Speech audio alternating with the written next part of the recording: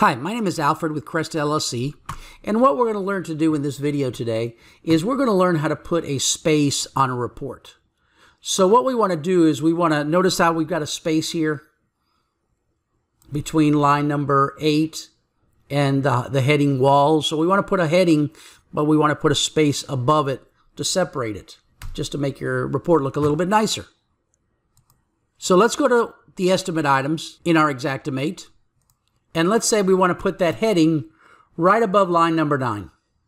So we want to put a, a space there and then a heading for walls. So what I'm going to do is I'm going to click on the line where I want to put the space above because I'm going to hit the insert key and it's going to insert a space above it. So I'm going to hit the insert key on my keyboard. Now some keyboards don't have or some laptops don't have an insert key. You may have to Google uh, because there's uh, there's a certain combination of keys that will simulate an insert key and put an empty line there. Now hitting the insert key alone is not going to put a space on my report because if I go to another room and come back, that space is going to be gone because there's nothing in that space. So we're going to put a note there. So I'm going to double click right here or I can come up to the attachment notes and that's going to open up this F9 note. The reason they call it an F9 note is on some computers, if you hit the F9 key, it will also open up that note. So what I'm going to do is I'm going to go to the, uh, the heading there, and I'm going to hit the Enter key to give me a space. And if you want to exaggerate it, you can just hit it and put two spaces there.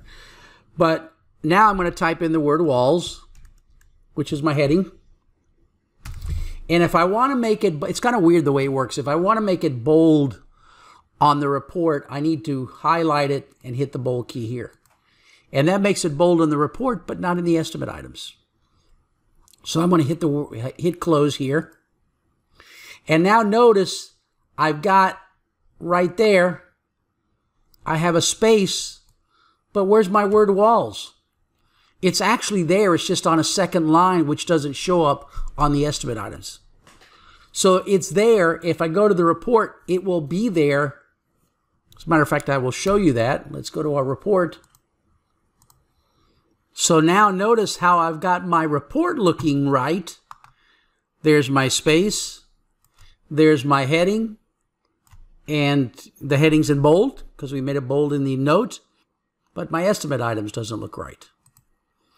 So what I'm going to do is I'm going to go to 9 here. I'm going to hit insert again, and that's going to give me another space.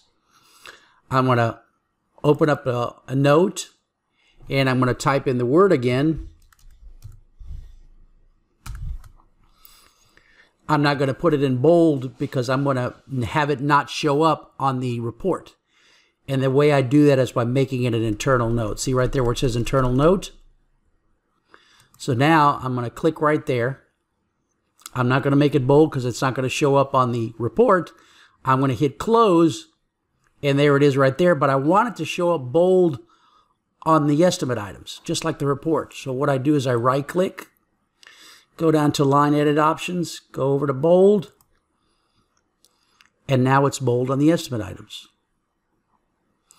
Now, because I made it an internal note, it's not going to be on the report. Let's take a look at that. Let's go to our documents. Let's go to our reports.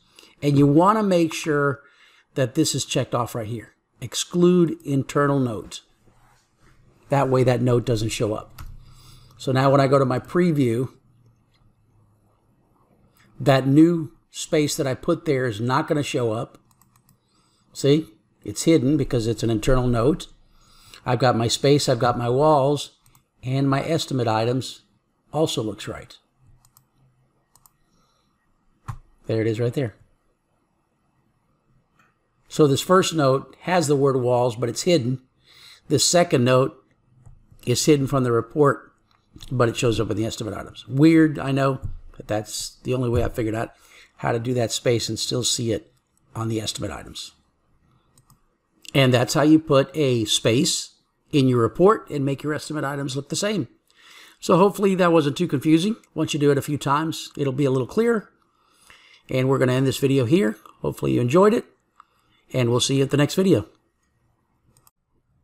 Well, that's the end of the video. If you like this video, give it the old thumbs up. I think it's down here somewhere. Or even better, subscribe so that you get to see any of the future videos that I post on here. Have a great day. We'll see you at the next video.